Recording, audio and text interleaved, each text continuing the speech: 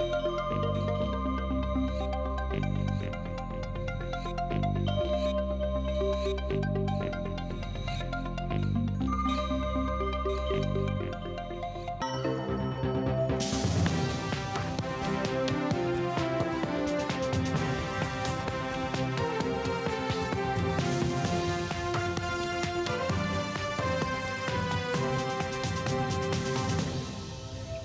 В прямом эфире новости. В студии Ирина Мартьянова. Здравствуйте.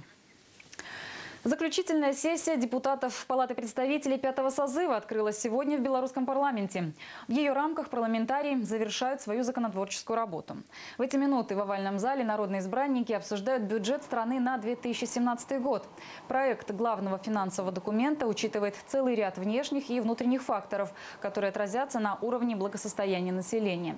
В частности, стоимость нефти. Ее закладывали на заведомо низком уровне, исходя из ситуации на мировом рынке.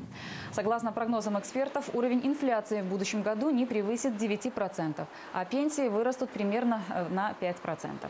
Всего же в повестке дня этой короткой сессии более 20 законопроектов, а парламентарии намерены рассмотреть поправки в налоговый и воздушный кодексы, законы о здравоохранении и об основах государственной молодежной политики.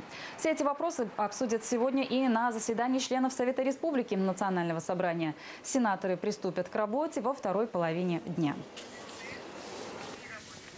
Экономические перспективы Беларуси и Молдовы обсудят сегодня в Кишиневе. Там стартует совместный бизнес-форум.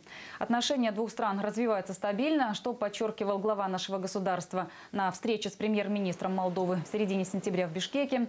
В подтверждении тому рост товарооборота на 10% за последний год и планы выйти на цифру в 400 миллионов долларов. Беларусь готова расширять свое присутствие на рынке южного партнера, в том числе в формате совместных предприятий. Кроме того, рынок нашей страны открыт для молдавской продукции, в том числе винодельческой.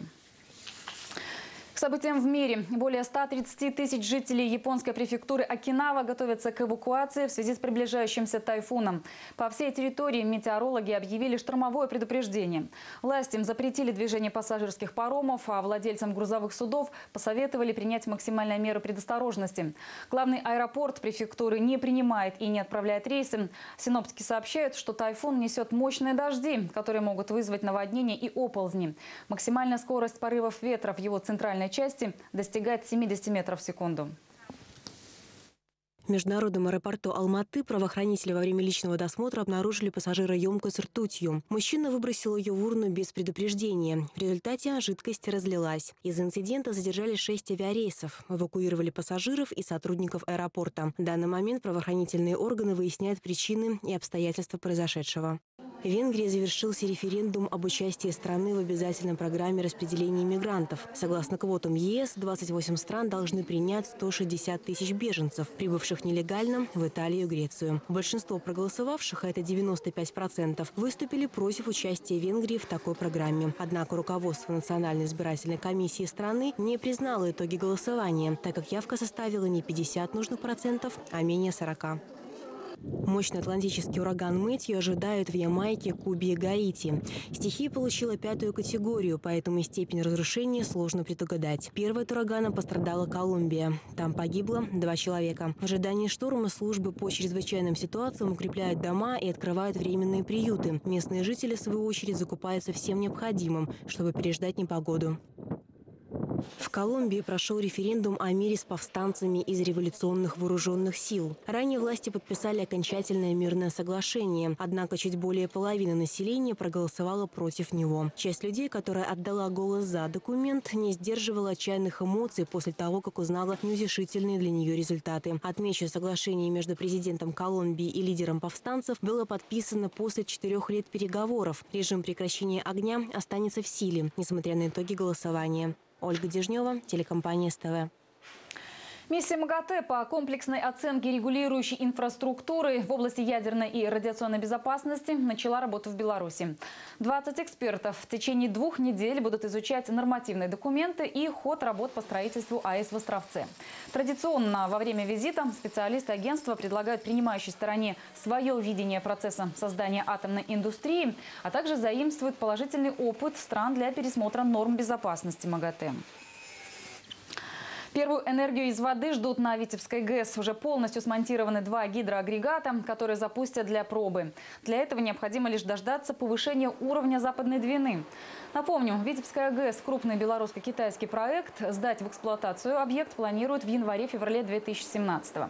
Основные работы по возведению самой, самой мощной в стране гидроэлектростанции уже завершены. Витебская ГЭС, согласно расчетам специалистов, должна сэкономить более 38 тысяч тонн природного газа в год за счет использования энергии течения реки. Выполнено около 80, наверное, 2-3%. Вы сами видите, в каком он состоянии.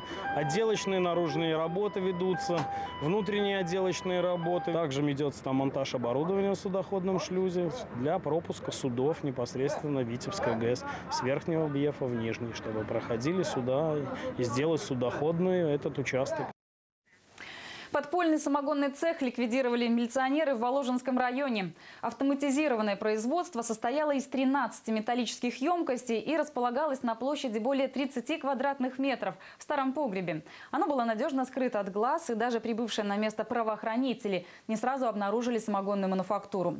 Ее владелицей оказалась местная жительница. На допросе она сообщила, что держала бизнес исключительно в личных целях, пару раз в месяц заваривая всего-то по три мешка муки. К слову, для демонтажа цеха было задействовано несколько единиц грузовой техники, а работы продолжались на протяжении нескольких часов. И последнее. Международный фестиваль воздушных шаров стартовал в США. Он считается крупнейшим в мире и традиционно э, начинается в первых числах октября. Праздник шаров проходит уже в 45-й раз. Пилоты со всего мира съезжаются в Нью-Мехико, чтобы посоревноваться в мастерстве управления аэростатом. На открытии фестиваля небо украсили полтысячи воздушных шаров. На этом у меня пока все. Больше новостей найдете по адресу в интернете ctv.by. Репортажи эфирное видео всех программ в любое время доступны на YouTube-канале СТВ. Следующий выпуск в 13.30. И я прощаюсь с вами до этого времени.